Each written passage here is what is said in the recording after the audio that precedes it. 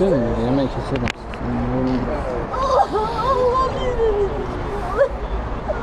Demək bu günləri e, e, oğlum Əliyev Emil Abdülnasırov üçün e, ailə məhkəməsinə gedirdi. E, o 2018-ci ildə vətənə xəyanət ittihamı ilə ittiham olunmuşdu. E, baxmayaraq ki, o 2011-ci ildə hərbi xidməti bitirmişdi. 7 ildən sonra e, hərbi prokurorluğa çağırılır. Məlum tərtər hadisələrindən sonra çağırılır. Baxmayaraq ki, oğlum heç tərtər hadisələrində iştirakçısı olmayıb və ümumiyyətlə o Toz bölgəsində qulluq eləmişdi. Lakin bu tərtər məsələsinə dəstək vermək məqsədilə bu e, onu da həbs elədilər ki, güya ki o vaxtdan e, faktiki olaraq güya xəyanət e, məsələsi var.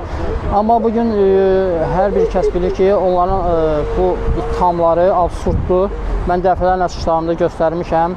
E, heç bir ifadə ona qarşı olma qarşı yoxdur. Təkcə zərər çəkmişin ifadəsidir. Amma zərər çəkmişin ifadəsində də biz dəfələrlə də e, demişəm, e, reallığı əks etdirmir e, və sənədlər və şahid ifadələrdə bir daha sübut edir ki, bu ifadələr ifadələrdən də görünür ki, zərər çəkmiş yalan deyir. Buna baxmayaraq bütün bu faktlara, rəsmi sənədlərə baxmayaraq yenə də oğlumu 12 il həbs elədilər. Bu günləri ali məhkəməsi idi. E, bu ali məhkəmə yenə də o, e, demək sentyabr ayının 14-nə qədər təxirə salındı. E, Ümid edirəm ki, yəqin ki, e, nəsə dəyişikliklər baş verəcək. E, Yəni bu ədalətsiz məhkəmə e, sistemi e, yəqin ki, e, nəhayət ki, ədalətli bir qərar çıxaracaqdır. Çünki e, apellyasiya məhkəməsi və e, Gəncə hərbi məhkəməsində olan e, hakimlərin ədalətsizliyi gözlər önündə idi. Mən dəfələrlə bunu sərgiləmişəm. Hər kəs bunu bilir. Və bu günləri e, aləmin də burada olduğu halda bu qədər problemləri, stressləri bizə yaşatdıqlarına görə hər halda mən e, sakit olmayacağımı bildirmişdim. Və yenə deyirəm ki, bütün beynəlxalq aləmində olan e, insan haqlarına mən məlumat vermişdim bu haqda və hər birinin rəyini də almışdım ki, tamamilə oğlum bəraəti almalıdır və inanıram ki, ali məhkəmə sentyabrın 14-də bu qərarı verəcəkdir.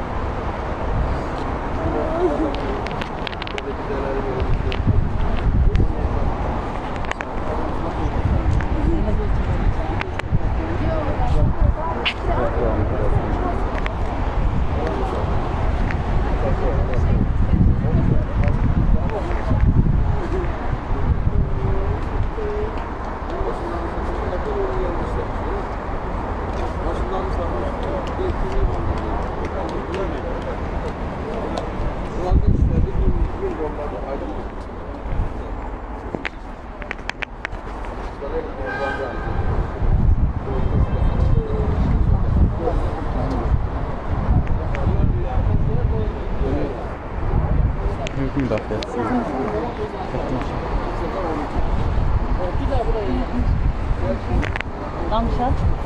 Danışar görəsən xanım. Xanım. Xanım. Bugün danışa bilərsiniz. Ee, Ne diyeyim?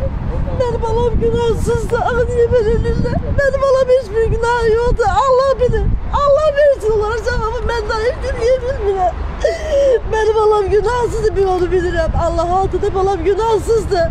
Niye hak adalet yerin tapır? Ana bakır bu hükümet, ana bakır bu prezident. Neye göre cevap vermirler? Neye göre atıp bir bakmırlar hiç neye? Öz bildiklerin, öz bildiklerini yeritirler. Hiç şey olmaz. Herkesin evladı var. Herkesin balası var. Neye göre benim balam bu balasından ayrılırlar? Olmaz böyle, olmaz. Bu hak adalet yerin tapmalıdır. Günahsız insanın yolları hakkı yoktu salmak oraya. Hiçbir hakları yoktu. Ben bala büyütmemişim günahsız yatsın orada. Ben onlar için büyütmemiştim o balanı. O benim balam günahsızdı. Beni bunu bilirler, bunu özleri de bilirler. Özleri çok güzel bilirler. Əslində ə, bir növ birisi biz ə, harda olursa, mən ə, bütün instansiyalara bildirişim olmuşam. Ə, heç bir yerdə mənə oğlumun ə, cinayət işlədiyi haqqında bir dənə olsa dəlil sübut verə bilməyiblər. Hələ ki bu günə icra o sübutu mənə verən olmayıb. Hamısı deyir ki, bizim səlahiyyətimiz xaricindədir, yəni biz bunu həll etmək gücündə deyilik. Konkret olaraq kimə müraciət eləməyə də demirlər. Mən hətta hərbi prokurorluqda olanda mənə məsləhət gördülər ki, yalnız bunu prezident İlham Əliyev eləyə bilər. Mən anlaya bilmirəm bu hüquq müdafiənin hüquq sistemi niyə lazımdır? Yəni bu adi bir deyək ki, adi bir cinayət deyil, əlbəttə ki, ən böyük ağır cinayətdir. Buna əgər prezident həll edəcəksə məhkəmələr nəyə lazımdır?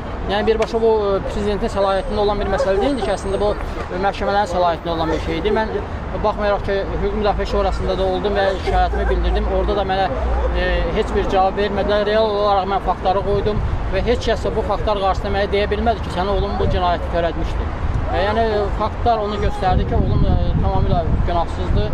Mən bunu sübut etməyə hazıram hər zaman. Hər bir insanla, hər bir o hərbi prokurorluq olsun, istəyir baş prokurorluq olsun.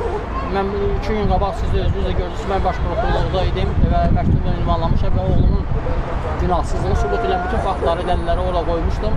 E, ümid edirəm ki, e, təxirə salmandan belə e, düşünürəm ki, yəqin ki, ölçü götürüləcəkdir.